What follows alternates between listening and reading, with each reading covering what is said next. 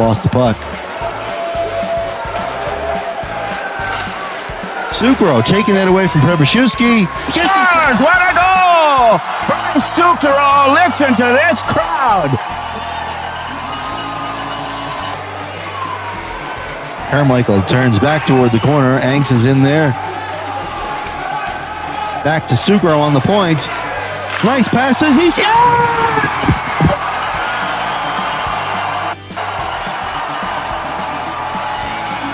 He scored. Nelson is advancing to the finals. What a beautiful play. What a beautiful shot.